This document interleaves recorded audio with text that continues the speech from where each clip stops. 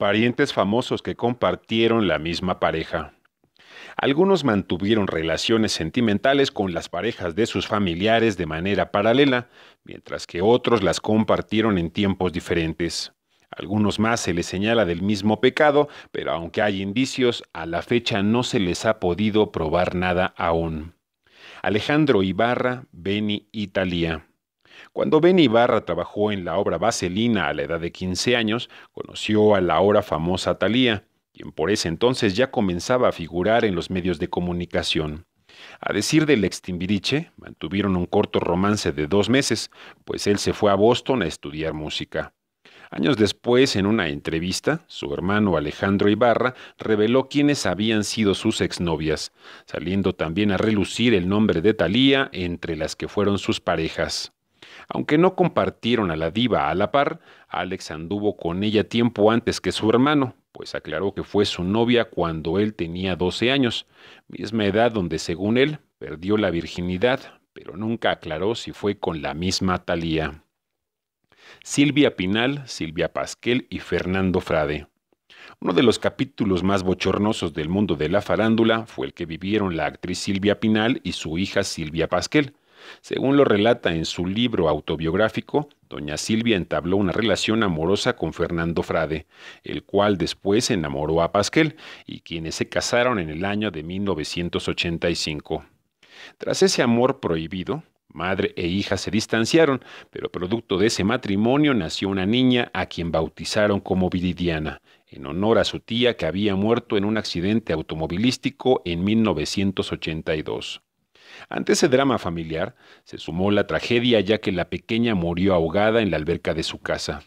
Pasquel, tras reconocer que quizás se había tratado de un castigo divino, tiempo después trató de justificar su amor aludiendo que ella primero había conocido a Frade antes que su madre. Verónica Castro, Cristian Castro y Yolanda Andrade. Otro capítulo truculento de la farándula se dio cuando la presentadora Yolanda Andrade declaró en una revista de espectáculos que ella había perdido la virginidad con el cantante Cristian Castro mientras trabajaron juntos en la telenovela Secretas Intenciones en el año de 1992. Aunque todo lo dicho estaba en duda, ella misma lo volvió a confirmar frente al reportero Jorge Ugalde de Televisa Espectáculos. Casi diez años después, la bomba estalló cuando comenzaron los chismes de que Andrade era la nueva conquista de Verónica Castro quienes se conocieron en la segunda edición de Big Brother VIP en el año 2003. Manejándose todo a nivel rumor, un mes después apareció una fotografía donde supuestamente se confirmaba el amorío, imagen que causó revuelo en varios medios de comunicación. Alejandra Guzmán, Stephanie Salas y Luis Miguel. Entre las múltiples novias que ha tenido Luis Miguel en su vida están Alejandra Guzmán y Stephanie Salas. Siendo tía y sobrina respectivamente y llevándose tan solo dos años de diferencia, ambas conocieron al sol cuando las familias Pinal y Rey se frecuentaban en épocas vacacionales.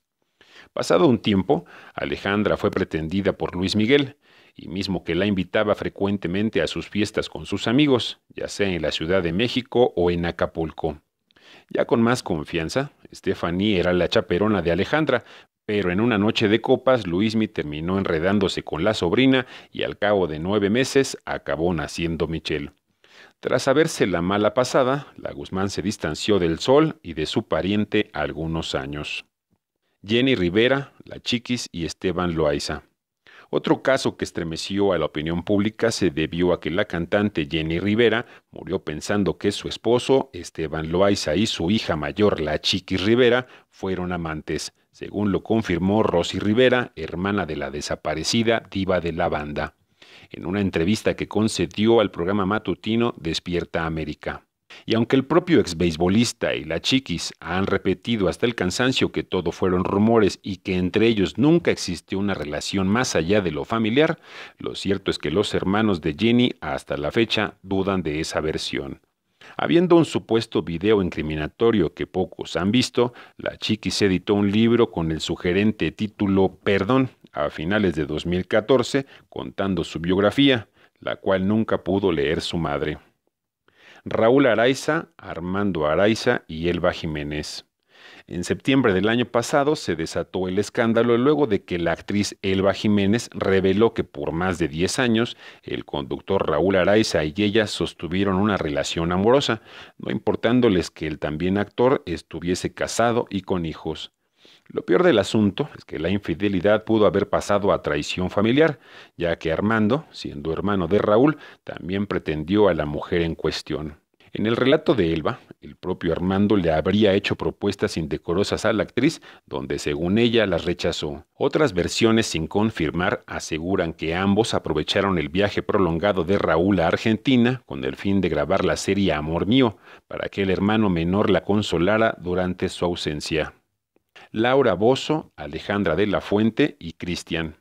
En el mes de febrero, la revista TV Notas publicó unas fotografías donde el marido de Laura Bozo le acomoda la tanga y le toma unas fotos a su hijastra Alejandra de la Fuente.